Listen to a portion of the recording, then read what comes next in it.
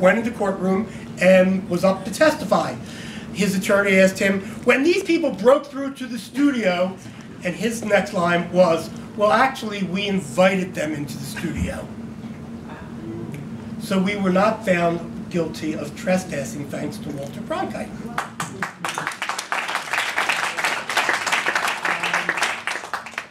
I'm looking around the room. Marlene, are you here? Don't see you. Ah, we were supposed to have a special guest, but she's not here. So let me just go on and say there's a reason I was able to do that. A very strong reason. That was 1973. But when I was 18 years old, and yes, at one time I was 18, um, I left home in Philadelphia, came to New York on May 10th, 1969, six weeks before a very famous date, uh, which was something called that we now call Stonewall. I was lucky enough to be there as part of, I was there just having a night out, but I was also a member of a group called the Action Group. And there are only two of us alive today that are from the Action Group. And one of my other buddies from the Action Group is still here, Mike Lavery. Mike, put your hand up. Now, we had one pivotal thing that we ever did. The Action Group only did one thing in its entire existence, but it was important. That night, Marty Robinson gave us each chalk, and when we were told to go up and down the streets and write tomorrow night Stonewall. That's all. Um, we did. But what that did was create the second, third, and fourth nights Stonewall, which did something more important than even Stonewall. It created the first organization from the ashes of Stonewall called Gay Liberation Front.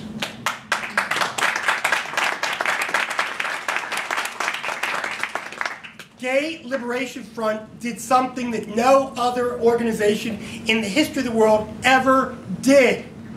Its goal was first to define ourselves for the first time.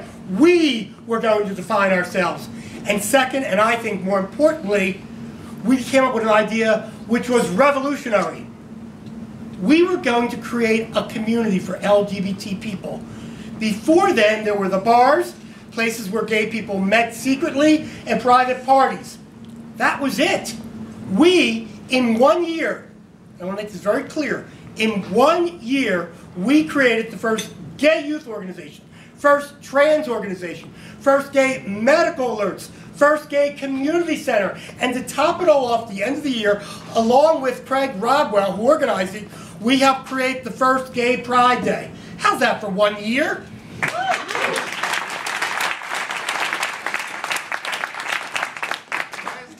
Many other things. So, many other things. so if I may, I have one of my Gay Liberation Front brothers here with me today.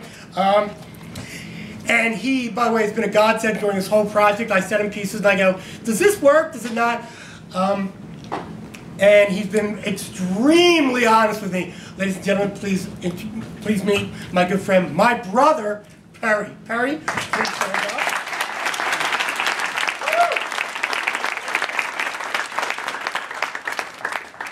So that first year, I got an opportunity, Perry and my other brothers and sisters gave me an opportunity to learn. I learned how, believe it or not, to be a leader. And one of the things I did was create gay youth. And uh, this I might cry at. So here joining us today from that very first year of gay youth, and please stand, Michael Knowles.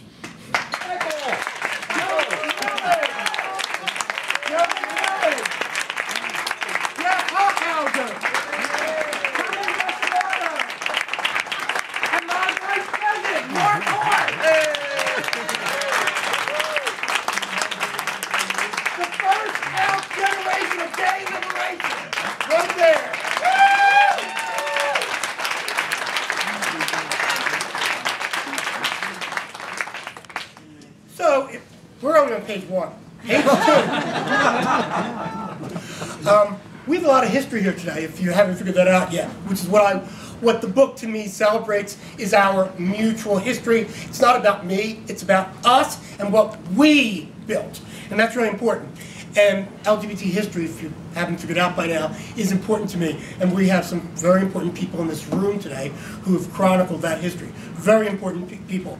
Jonathan Ned Katz, Gay American History. If you haven't read it, let me tell you, that book could tell you an incredible amount of history throughout the, from the beginning of this uh, nation. Alexander Hamilton? Yeah. Go see it on Broadway right now. You got me tickets. David Carter, who has one of the best books on Stonewall. David, where are you?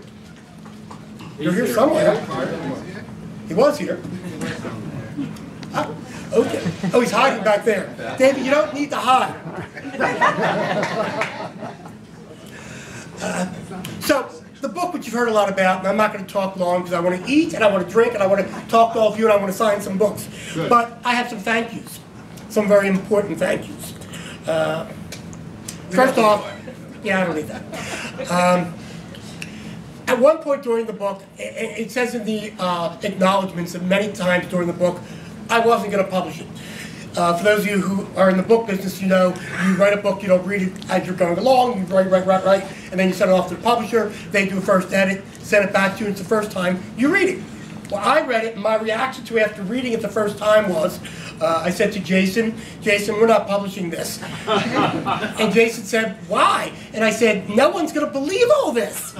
Um, and so uh, I sent it back to my, my publishers, and their reaction was, well, let's get you an editor and let them be the judge.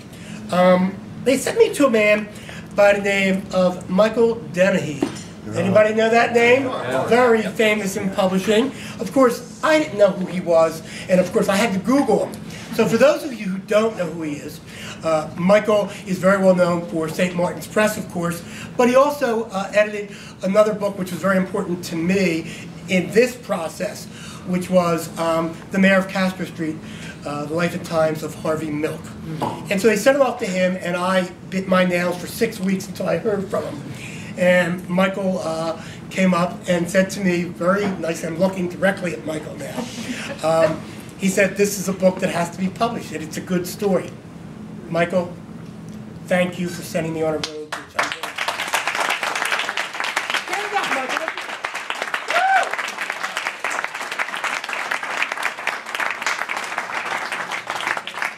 So, before Michael,